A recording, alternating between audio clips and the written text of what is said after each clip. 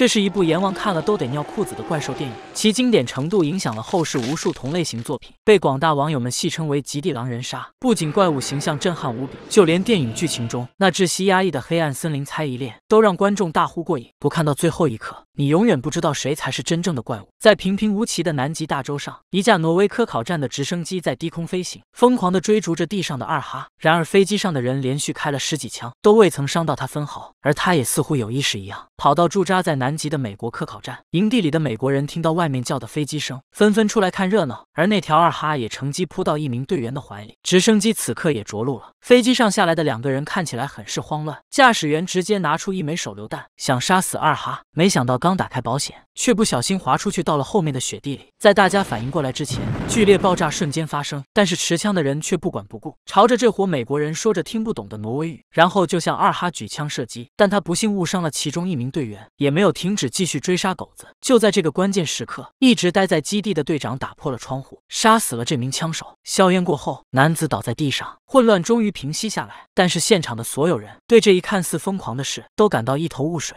将二哈安顿下来后，人们聚集在房子里进行讨论。为了找出事情的真相，营地里的博士决定去挪威科研站了解情况。他叫上飞行员麦克，立即准备出发。直升机盘旋起飞，离开基地。就在这时，一直坐在桌子角落里的二哈开始伺机而动。他在房子里轻轻的四处探索，最后锁定了一个印有背影的房间，慢慢走了进去。而导演为了不让观众猜出这人是谁，特地选了一个演员之外的人，按照地图上的方向前进。麦克和博士成功的找到了挪威人的营地。不出所料，营地出了大事，这里已是废墟，仿佛昨夜才经历了一场大战。还看见一个巨大的空心冰棺。他们在房子里继续搜索，带着一些信息准备离开，但在房子外面的空地上发现了一个奇怪的人或动物尸体。经过深思熟虑，两人决定将尸体带回基地进行研究。即将到来的暴雪和无法回应的通讯，让队员们都感到恐慌。但麦克和博士带回来的畸形尸体就像一颗重磅炸弹。众人看着这幅奇形怪状的生物，被震撼得无以言表，决定先让医生先解剖它。研究发现，怪物有和人类一样的身体器官，似乎在它生前应该是与人类发生了融合。这番研究更让众人摸不到头脑了。经过短暂的休息。看守员把那条二哈关在了营地的笼子里，没想到过了一会儿，恐怖的变化开始发生。刚进来的二哈开始浑身颤抖，发出可怕的低鸣，然后脸像花一样裂成四瓣。其他的狗子哪见过这种场面，纷纷害怕，咆哮着后退。剩下的画面太过血腥，这里就不给大家放了。狗子的吼声引起了看守员的注意，随着他过来查看，立刻看到了恶心怪物的触手在乱飞。他惊慌失措，迅速关上笼子。不远处的麦克也听到了这边的动静，迅速拉下火警，唤醒了睡梦中的队员。人们拿着猎枪和喷火器来到笼子这里，手电筒微弱的光照亮了怪物。一个混合了几条狗的怪物赫然出现在人们面前，还不断用触手侵蚀着其他狗子。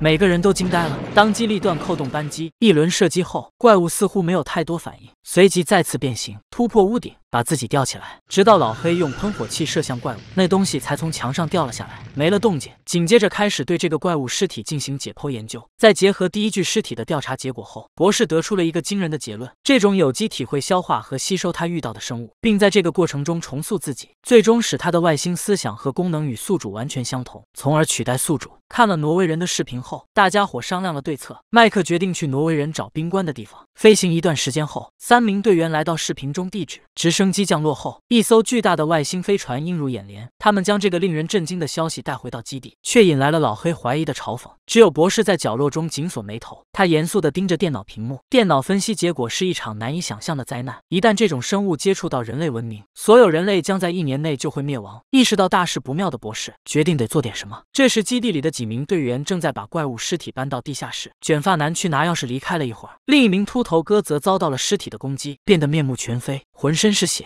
被触手缠在椅子上。当人们来的时候，被袭击的队员已经消失了，留下了血迹和被摧毁的窗户。警报声响彻基地，麦克带着其他几个人赶上了逃跑的队员。这时，他的手臂变得血肉模糊，嘴里发出尖锐的吼声，似乎成了怪物的一部分。麦克把油桶推倒，扔出手里的信号棒，一把燃烧，熊熊大火蔓延全身，瞬间吞噬了怪物。这场战斗之后，基地里的每个人都明白了问题的严重性，他们烧毁了所有的尸体。出乎意料的是，博士秘密破坏了基地直升机和所有通信系统。他挥舞着斧头砍下电台。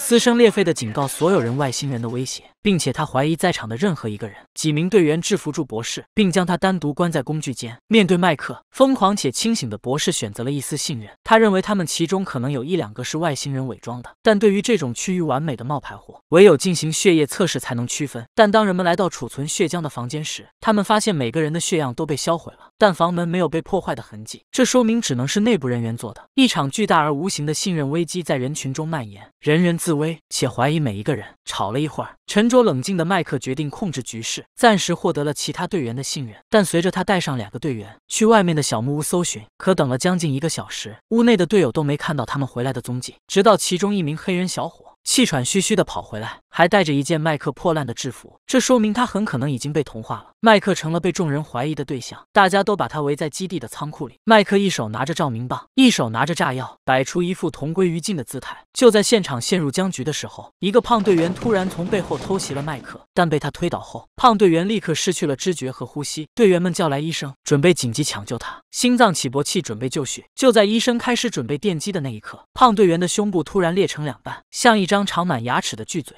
直接咬断了医生的手。然后，一个扭曲恶心的人形怪物从他身上冒了出来。突如其来的变异震惊了大家。麦克举起手中的喷火器，把面前的怪物烧了干净。剩下的队员被麦克聚集在一起，决定绑起来开始血液测试。这个房间里的每个人都不相信对方，他们对麦克的暂时服从，只是因为对暴力的恐惧。随着队员一个个的检测，不出所料，进行到一半，狼人的身份已经公布。坐在最右边的男人突然浑身发抖，肢体分裂的血肉模糊。旁边的伙伴们惊呆了，挣扎着想要逃跑。那怪物一跃而起，就粘在了天花板上。麦克手中的喷火器此刻却失灵了，他不得不在角落里叫另一个拿喷火器的同伴。但在他做出反应之前，怪物从天而降，裂开的头变成了大嘴巴，咬住了这个队员。麦克用力拍打手中的喷火器，在最后关键时刻，熊熊大火终于喷出，怪物瞬间点燃。顺手也解决掉了那个刚被感染的队友。麦克放开了房间里剩下的几个幸存者，他们决定去给博士最后一个做血液测试。然而他们发现工具间，随后三人在地下发现了一个巨大的坑洞，里面有一个半成品的宇宙飞船。人们意识到博士已经被感染了，他利用被囚禁的机会，独自在工具间的地下制造能逃跑的飞船。此时麦克发现基地的电源被切断，这意味着室温将在六小时内降至零下七十三度，没有人能生存，而怪物将被重新冻结。只要救援队来了后，一切都无法挽回。大家都知道后，做好了与怪物同归于尽的准备。他们准备用炸药和燃烧瓶炸毁整个基地。在剧烈的爆炸和火焰中，剧烈的房屋一个接一个的倒塌。三人队很快就来到了最后一台发电机，打算把所有的炸弹都埋在这里，把整个基地都炸上天。麦克让三个人分开行动，在不同的房间里放炸药。果然，化身为博士的怪物躲在黑暗中。在麦克反应过来之前，其他两名队友都被吸收了。直到周围一片寂静，发电室里只剩下他自己。他用炸药警惕地盯着黑暗。突然，前面的地面塌了下来，无数的木板像波浪一样被掀开。两个巨大的触手冲出地面，卷走了小麦放置的起爆器。一个巨大的变异怪物突然出现在面前。